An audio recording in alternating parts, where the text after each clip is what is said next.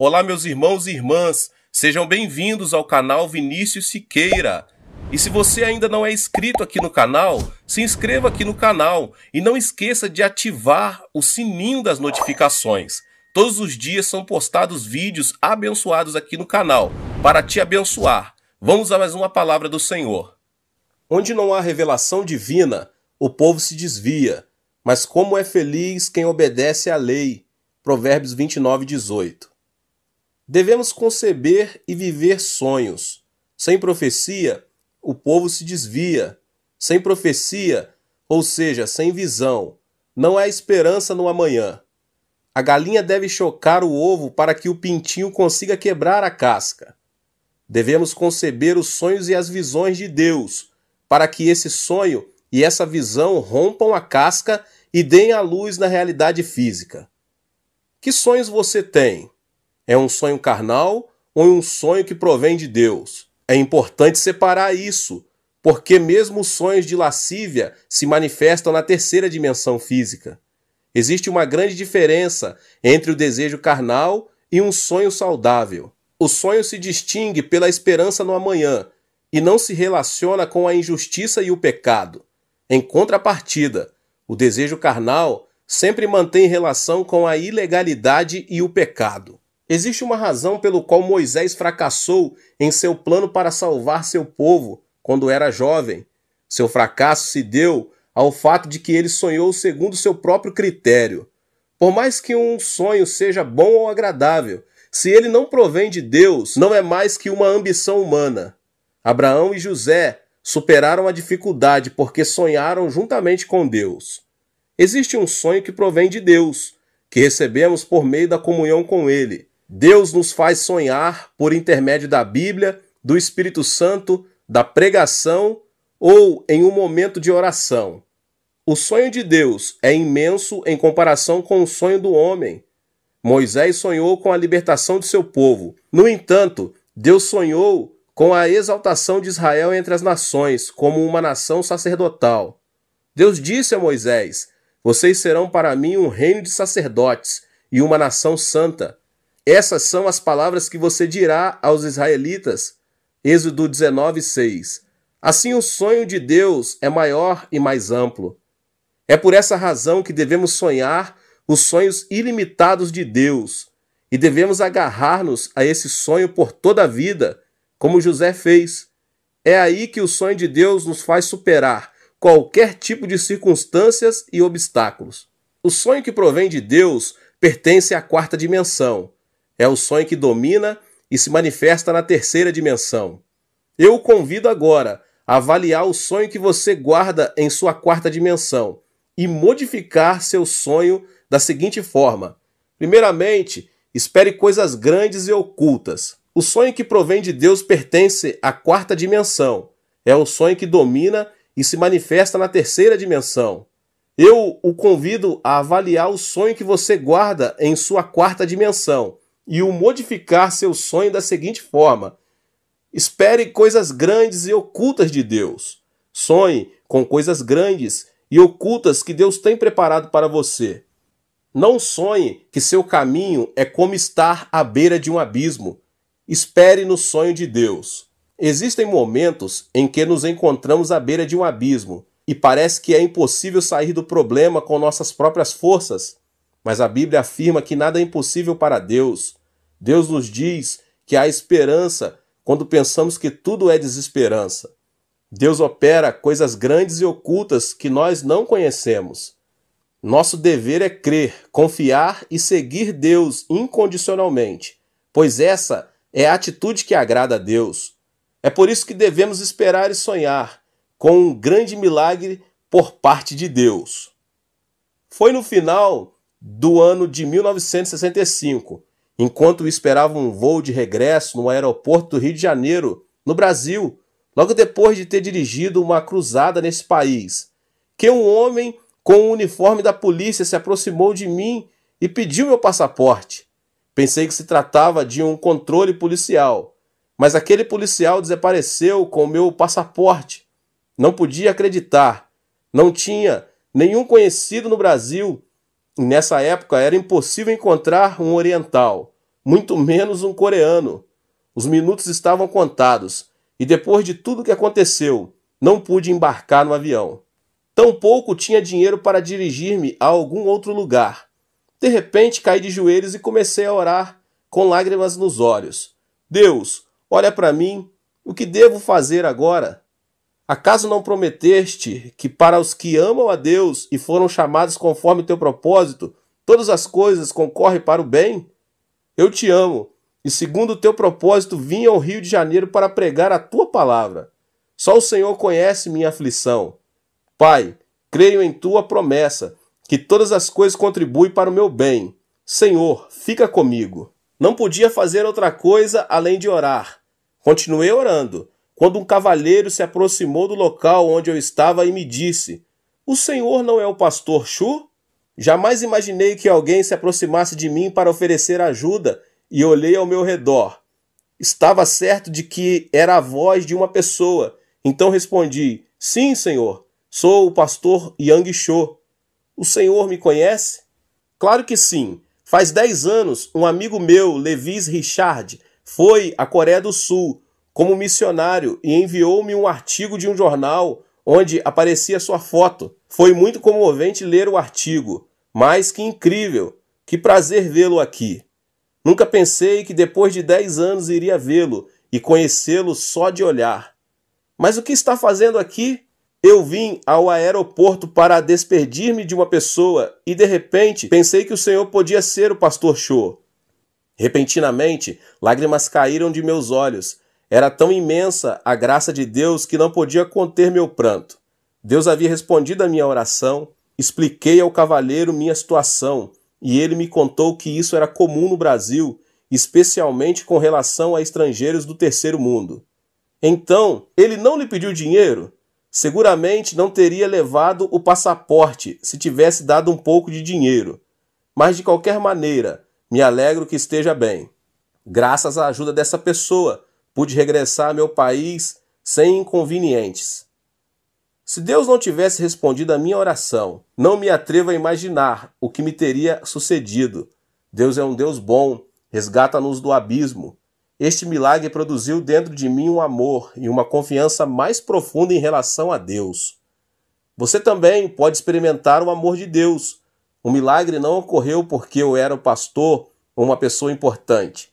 Se você não esmorecer e continuar confiando em Deus, sem abandonar a fé, Deus fará coisas grandes e ocultas que você não conhece. Experimente o milagre por meio da fé.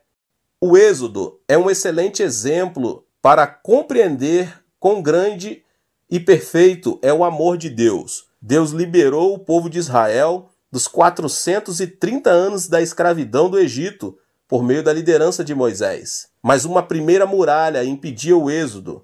O Mar Vermelho aguardava a chegada dos israelitas. Atrás, os soldados do exército de Faraó vinham com carros dispostos a matá-los. Era uma situação em que não havia nenhuma opção. Adiante, um grande mar. Atrás, todo um exército armado.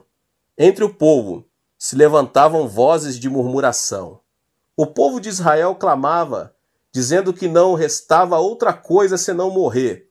E todos começaram a murmurar contra Moisés. Foi nesse momento que Deus disse a Moisés: Não tenham medo, fiquem firmes e vejam o livramento que o Senhor lhes trará hoje. Erga sua vara e estenda sua mão sobre o mar, e as águas se dividirão. Deus não havia abandonado seu povo. Quem pensou que o povo cruzaria o Mar Vermelho? O próprio povo não imaginava isso, tampouco o Faraó. Deus tem coisas grandes e ocultas preparadas que, com sabedoria humana, é impossível discernir. O Mar Vermelho se dividiu em dois quando Moisés ergueu a vara sobre ele. O povo de Israel se arrependeu de ter ofendido a Deus, voltou a agarrar suas mãos de poder e conseguiu cruzar o mar com êxito. No afã de alcançar seus escravos, os egípcios também tentaram atravessá-lo. Mas algo incrível aconteceu. As águas se fecharam sobre os egípcios, sobre seus carros e sobre seus cavalos. O mar acabou arrasando a vida de todo o exército egípcio. A divisão do Mar Vermelho não foi um fenômeno natural. Por meio dele, Deus mostrou a seu povo aquelas grandes coisas e ocultas que tinha preparado para ele. Deus não muda e está conosco hoje, sustentando-nos com sua mão de poder. 1 aos Coríntios 2,9 diz: Todavia, como está escrito, olho nenhum viu, ouvido nenhum ouviu, mente alguma imaginou que Deus preparou para aqueles que o amam. Sonhe e tenha esperança e creia que o amor e a bênção que Deus preparou para cada um de nós são maravilhosos. Algo grandioso acontecerá em sua vida. Deus criou o homem no último dia da criação, como coroa da criação. Criou primeiro todas as coisas e depois Adão e Eva a quem ortogou o poder de dominar e subjugar a terra. Note que primeiro Deus criou todo o necessário para que o homem, pelo amor de Deus, habitasse a terra. O mesmo Deus que preparou a criação para Adão e Eva pudessem habitar a terra, preparou nossa vida para que em Cristo Jesus experimentemos o novo nascimento. Deus predestinou nossa salvação antes da criação do mundo não que tenhamos pecado por acaso e por acaso se abriu um caminho para nossa salvação.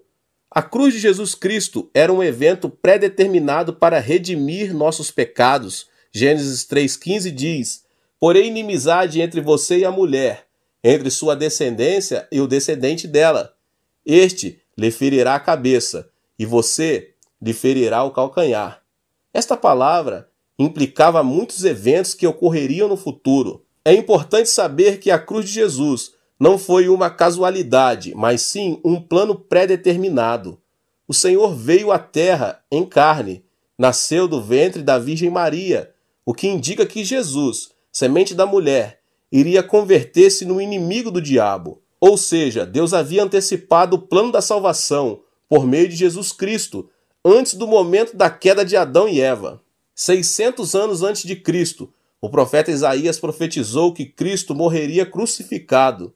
Isaías 53, 4 e 5 diz: Certamente ele tomou sobre si as nossas enfermidades, sobre si levou as nossas doenças.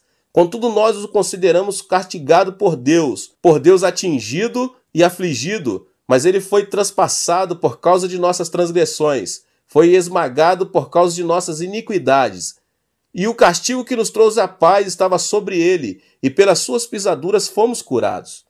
Esta passagem da Bíblia nos revela quão determinado estava o plano da salvação, a razão pela qual podemos ser salvos, por meio da fé em Jesus Cristo, deve-se ao fato de que o Senhor preparou o caminho para a salvação. Foi-nos revelado o segredo de que, por meio da fé em Jesus Cristo, recebemos o perdão dos pecados, justificação e salvação. O amor e o poder de Deus são tremendos. É impossível entender a obra de Deus com o intelecto sensorial, porque Deus supera o intelecto. Portanto, devemos crer no que Deus nos preparou. Não devemos cambalear em nenhuma circunstância, mas sim crer que Deus predeterminou tudo. A solução não se encontra em nossas mãos, mas nas mãos de Deus. Recorde o que a Bíblia diz em Jeremias 33, 2 e 3. Assim diz o Senhor que fez a terra o Senhor que a formou e afirmou. Seu nome é Senhor. Clama a mim, e eu responderei e lhe direi coisas grandes e insondáveis que você não conhece. Creia na promessa da palavra e tenha esperança. Temos a bênção de ser pessoas que veremos coisas grandes e ocultas de Deus. Aleluia. O que devemos sonhar? Devemos sonhar coisas grandes e ocultas. Não devemos sonhar que a escuridão arrasará nossa vida, mas sim devemos crer em coisas grandes e ocultas. Devemos sonhar com coisas positivas e otimistas, com esperança. E Deus operará coisas grandes e ocultas a nosso favor. Deus operará milagres inimagináveis. Temos de abrir a boca para que Deus encha de milagres. Deus é capaz de fazer infinitamente mais do que tudo quanto o que pedimos ou pensamos, de acordo com o seu poder que atua em nós. Ouça agora este testemunho. Esta é a história de uma mulher negra que vivia junto com seu filho nos Estados Unidos.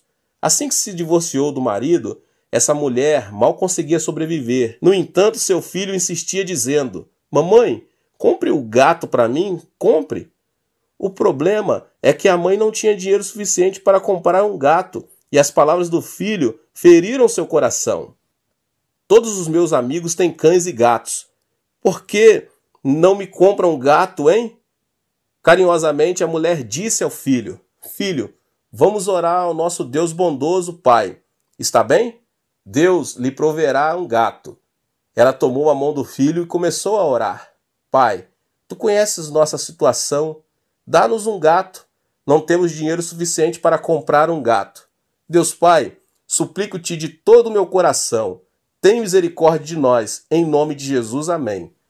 Assim que terminara a oração, o filho perguntou: Deus nos dará mesmo um gato? Sim, querido. Nada é impossível para Deus. Um gato não será nada difícil para ele.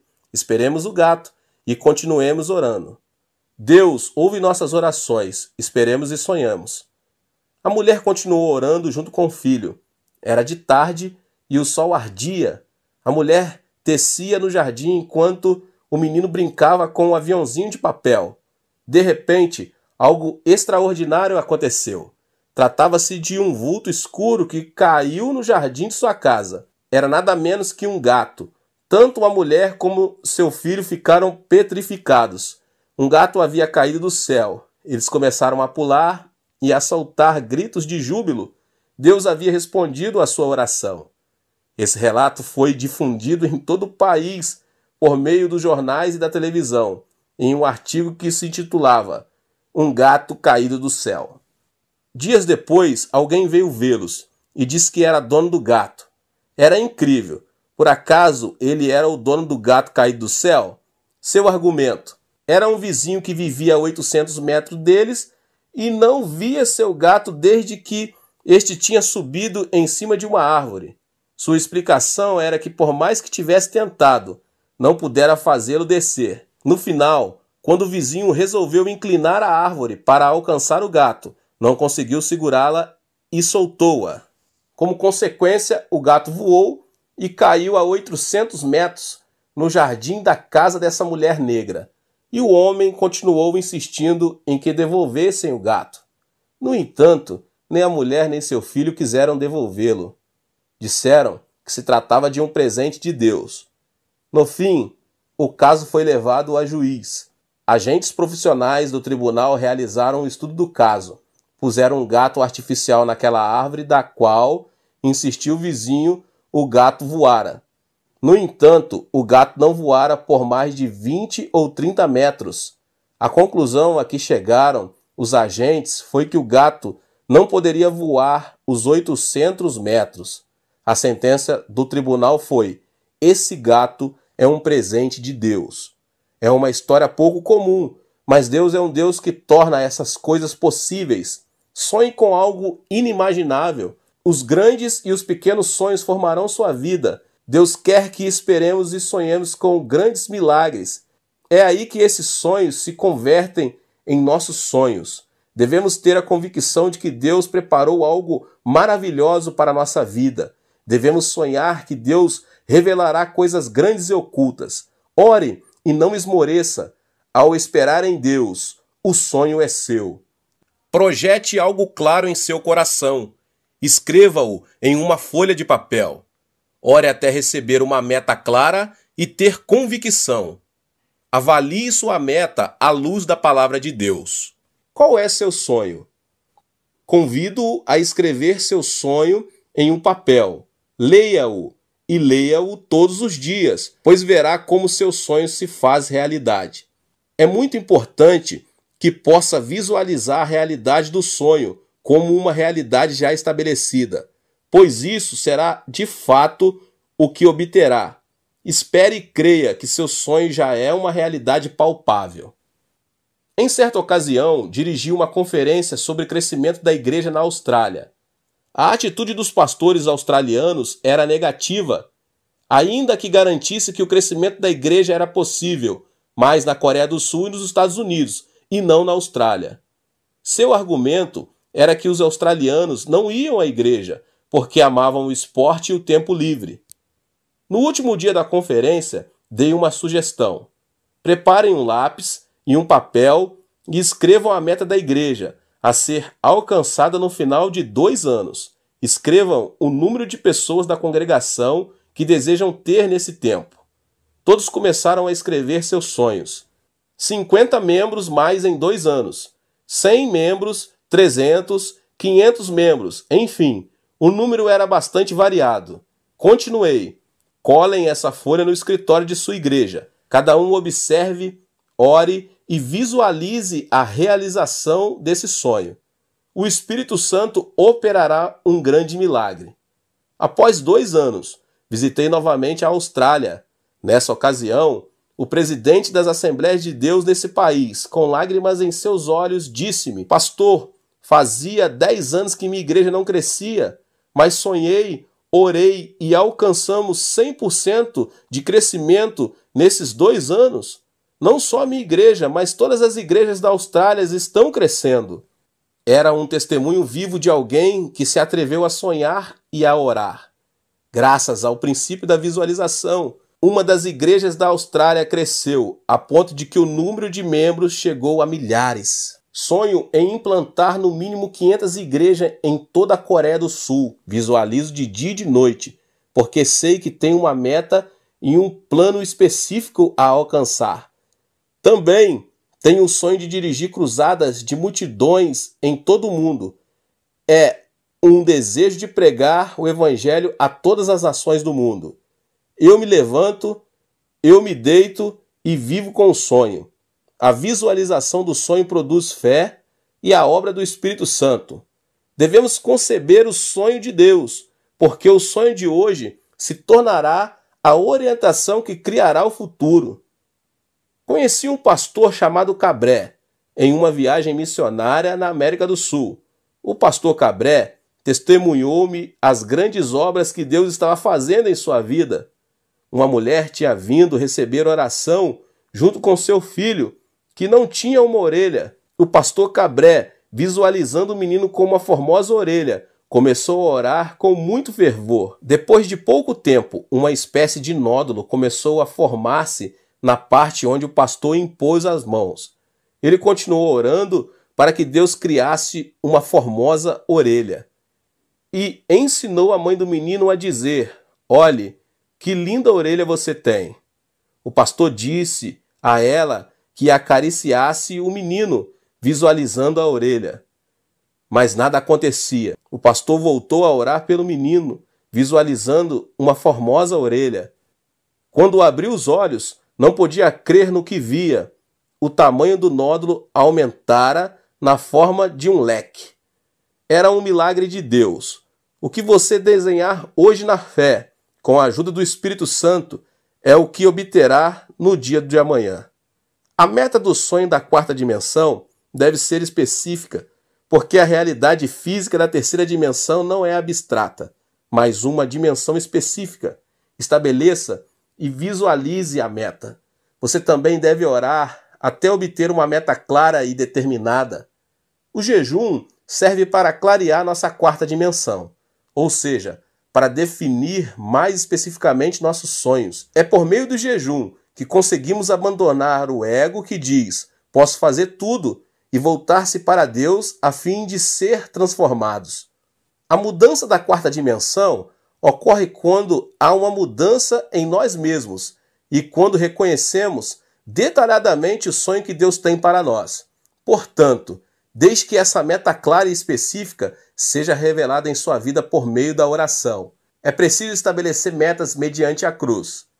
Todo atleta, todo chefe de família, todo paciente tem uma meta a alcançar.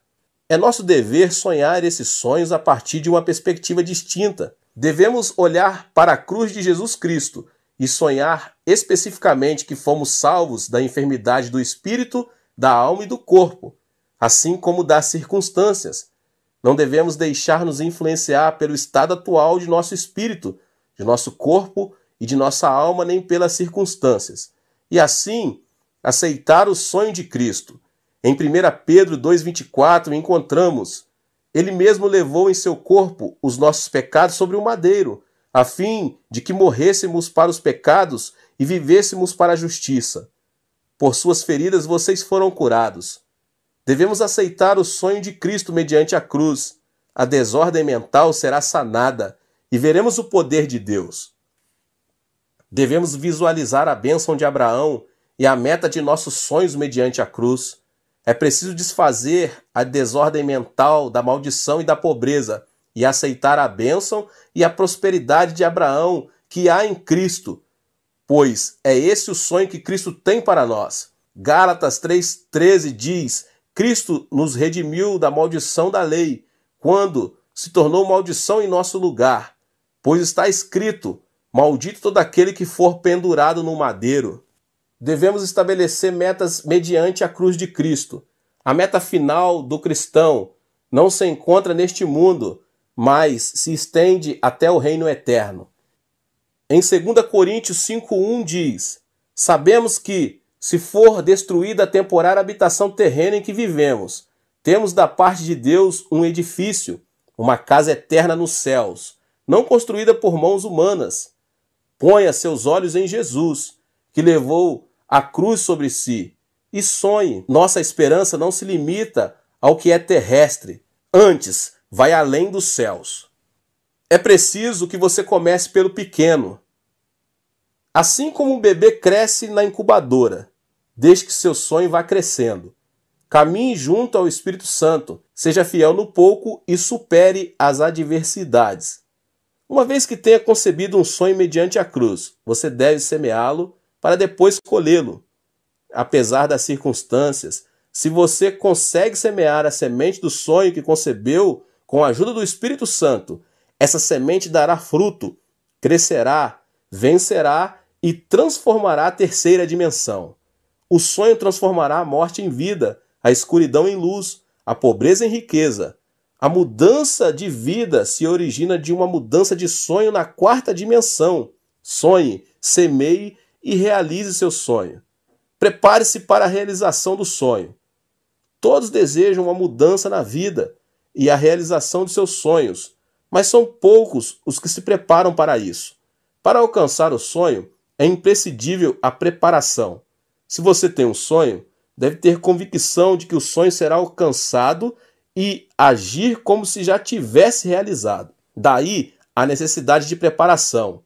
Para aquele que não se prepara, seu sonho continuará sendo um sonho e será difícil alcançá-lo. O templo central da Igreja do Evangelho Pleno de Ioldo, utilizado hoje, é um templo que foi reconstruído e ampliado de dentro para fora. Ao ver que minha igreja apresentava um crescimento explosivo, fiz um plano de construção de um complexo ao redor de um templo central. O departamento de educação dois centros para as missões e um edifício para o jornal diário. Também senti que devia reconstruir o complexo do Monte da Oração, porque sabia que muita gente necessitava de ter uma comunhão mais íntima com Deus em um lugar isolado da cidade. Mas só contava com dois mil dólares no bolso. O custo aproximado da construção era de 2 milhões de dólares. Mas Deus proveu todos os recursos Deus é meu capital. Lembre-se, a visão e a paixão precedem as finanças, porque Deus provê nossas necessidades. Existem prioridades na obra de Deus. Primeiro, devemos avaliar se algo é da vontade de Deus. Segundo, devemos estabelecer metas claras. Terceiro, necessitamos ter paixão para alcançar a meta. Quarto, temos de crer que Deus nos ajudará. Uma vez que tenha respeitado essas prioridades, é o momento de fazer contas na calculadora e pagar o preço. Em meu caso, sigo adiante crendo que Deus proverá os recursos. As circunstâncias e as adversidades nunca são um impedimento, só caminho pela fé, porque Deus é quem cumpre sua palavra. Como pais, preparamos a roupa, os sapatos e o berço mesmo antes de beber nascer. O mesmo acontece com nossos sonhos. Uma vez que tenha concebido o sonho, você deve se preparar para as alternativas reais e saber que prosseguirá pelo poder do Espírito Santo, pois essa é a única forma de conceber um sonho. Um sonho não é algo que se cumpre, e sim algo que nasce.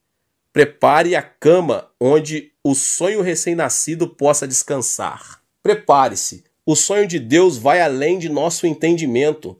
Ele quer que o Evangelho seja pregado em todo o mundo por meio da igreja. Devemos trabalhar para alcançar o sonho de Deus. Deus é nosso capital maior. Deus não nos desapontará enquanto caminharmos em fé e confiarmos em seus recursos. Ore até alcançar o sonho. Gênesis 17 diz que Deus prometeu a Abrão um filho quando Abrão tinha 99 anos de idade. Abrão e Sarai não tinham filhos, mas Deus lhes disse que chamar as coisas que não são como se já fossem. Abrão tinha 99 anos e sua esposa 89. Já eram anciãos de idade e sem filhos. No entanto, Deus mudou o nome de Abrão para Abraão e o de Sarai para Sara, que significam pai de multidão e mãe de multidão. Eles não tinham filhos, mas para Deus os filhos já tinham vindo. O significado da frase que diz que Deus chama as coisas que não são como se fossem é que para Deus o tempo é presente. Portanto, para Deus, Isaac já havia nascido. Mas Deus ordenou que chamassem as coisas que não são como se fossem, porque o homem não conseguia ver com seus olhos físicos. O cristão deve chamar as coisas que não são como se já fossem e confessá-las. O Senhor Jesus disse: Portanto, eu lhes digo: tudo o que vocês pedirem em oração, creio que já o receberam, e assim lhes sucederá. Isso significa que devemos visualizar, pensar e crer nas coisas que não são como se já fossem, e devemos crer que as recebemos ainda que não sejam palpáveis neste momento. O Senhor Jesus disse: Eu lhes asseguro que se alguém disser a este monte: Levante-se e atire-se no mar, e não duvidar em seu coração, mas crer que acontecerá o que diz, assim lhe será feito. O que implica que devemos ter confissão de que o monte será arrancado e lançado ao mar antes de termos mencionado tais palavras. Outra coisa bem importante é orar com muito fervor. Então, até quando devemos orar? Devemos orar até que o Espírito Santo nos dê convicção do que é suficiente e do que não é e nos diga: agora basta. Isso é algo que você certamente já experimentou. Em minha experiência pessoal, quando oro pela primeira vez por algo novo, sinto que existe uma distância muito grande entre minha pessoa e a resposta. Mas quando insisto em oração, digo: Deus responde, responde. Sinto que a resposta se aproxima. De repente, um dia recebo a convicção de que minha oração foi respondida. É aí que começo a pensar, visualizar e confessar o que não é como se fosse. Existem muitas pessoas que vão ao monte da oração para receber saúde. Antes de chegar ao monte, a saúde parece algo muito distante. Mas depois de orar durante um, dois ou três dias, chega um momento em que a pessoa recebe a convicção que foi curada e confessa: Fui curado, mas a saúde ainda não chegou. Lembre-se de que a figueira não secou no mesmo instante, mas um dia depois que Jesus a amaldiçoou. A convicção está presente, mas também a enfermidade. Não obstante, alguns dias depois de regressar no Monte da Oração, a enfermidade desaparece. Existe um lapso entre a convicção e o cumprimento. Por exemplo, pense na erva do campo. Se você arranca a erva, ela não seca no mesmo instante, pois ainda que já esteja morta, isso requer pouco mais de tempo. Da mesma forma, o que recebemos já existe, mas necessita de tempo para que se manifeste na realidade. Uma irmã de minha igreja não podia nem sequer subir as escadas, em virtude de um problema de coração. Os médicos a aconselharam a submeter-se a uma cirurgia. A artéria coronária estava obstruída. Mas essa irmã decidiu dirigir-se ao monte da oração. Deus Pai, aqui está o dinheiro necessário para a operação. Eu o ofereço a ti. Quero que tu me operes diretamente. Sei que isso soa estranho para um incrédulo. Se a artéria está entupida, como alguém poderá salvar sua vida sem uma cirurgia?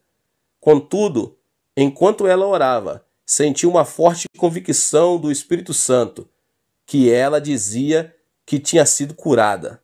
Salte! Era a voz do Senhor. Todavia, um movimento brusco podia levar-lhe à morte.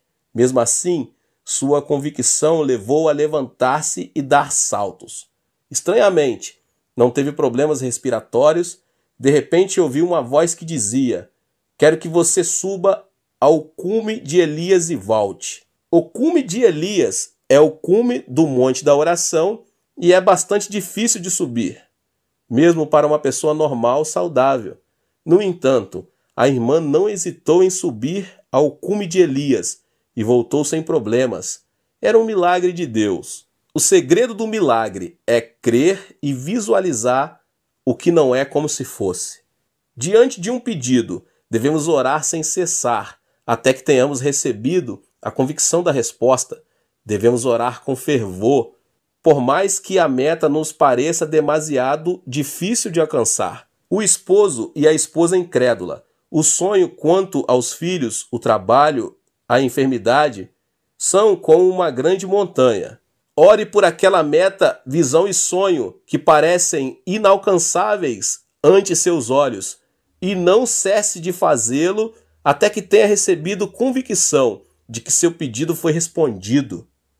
É preciso visualizar a realização de seu sonho e seja fiel no pouco.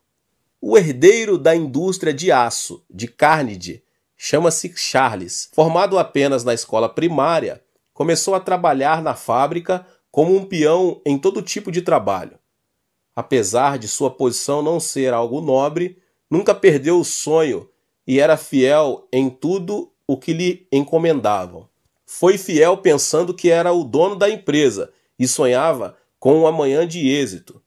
Limpava cada canto da fábrica todos os dias, como se fosse sua casa e como se ele fosse o dono da fábrica. Seus colegas o criticavam, mas ele limpava a fábrica em dias de sol ou de chuva. Sonhava que a fábrica era sua propriedade. A atitude desse trabalhador terminou comovendo o coração de toda a gente. Sua fidelidade serviu como mérito para começar a trabalhar como um empregado no departamento de limpeza. Assim que ascendeu como empregado, continuou trabalhando com a mesma fidelidade de antes. Sua atitude fiel foi difundida de boca em boca e o presidente da empresa Carnegie decidiu contratá-lo como seu secretário pessoal. Esse homem continuou sendo fiel em seu novo posto de trabalho e serviu como porta-voz do presidente. Sua filosofia de trabalho era: sou o dono da empresa, portanto devo trabalhar com a mentalidade de que se alguém me obriga a levar uma carga por uma milha, devo ir com ele duas milhas. E se alguém me pede a túnica, devo dar-lhe também a capa. E trabalhou fielmente. O presidente Carnegie, comovido pela fidelidade de seu secretário, ofereceu-lhe um incentivo de um milhão de dólares, quando o salário anual de seu secretário era de 2 a 3 mil dólares. E à vista de todos os seus empregados, Carnegie disse que o sonho e a fidelidade de Charles era algo imensurável. Quando chegou o momento da aposentadoria de Carnegie, todos os empregados começaram a se perguntar quem iria sucedê-lo nessa grande empresa? Alguns afirmavam que algum graduado da Universidade de Harvard ou Princeton ou algum filho de um empresário importante iria substituí-lo no cargo de presidente. Carnegie, porém, nomeou Charles o novo presidente da indústria de aço, o qual havia começado como peão e trabalhado no departamento de limpeza e, por fim, servido fielmente a Carnegie como seu secretário. Isso causou um grande impacto em todo o mundo, até no próprio Charles. Carnegie enfatizou que sua empresa deveria ser dirigida não por uma pessoa com títulos de estudos avançados, mas por alguém com amor, fidelidade e sonhos com relação à empresa. Em outras palavras, Charles era o homem em que Carnegie confiava, por seu amor fidelidade e sonhos em relação à empresa. Eu o exorto a que dê o melhor no lugar em que se encontra. O Senhor está com você e quer ajudá-lo. Seja fiel no pouco. Deus vê tudo e conhece as fibras mais íntimas do nosso coração. Deus nos exaltará a seu tempo, Ponha seu olhar em Deus e seja fiel no que lhe foi confiado. O túnel da aflição leva-o à realização do sonho.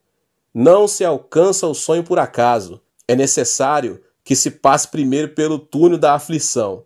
Ou seja, existe um preço a pagar. É por meio da aflição que abandonamos nosso ego e confiamos em Deus. Deus usa a aflição como uma ferramenta para nos quebrantar, para fazer-nos voltar a seu caminho. Deus predestinou todas as coisas para a nossa vida. Deus nos abençoa à medida que caminhamos e não nos afastamos do caminho que ele preparou. É imprescindível visualizar e pagar o preço para alcançar o sonho. A aflição é o plano de Deus para quebrantar nosso ego e fazer-nos obedientes a ele. A aflição ajuda nossa fé a crescer e a faz mais vigorosa. Só aquele que experimentou a aflição e a tribulação poderá alcançar seu sonho e destacar-se por sua firmeza. Os músculos do braço adquirem força por meio do exercício. Da mesma forma, os músculos de nossos sonhos ganham força por meio da aflição e da tribulação. A aflição é a semente que leva consigo um sonho e uma esperança maior. É como um túnel e você precisa ultrapassá-lo.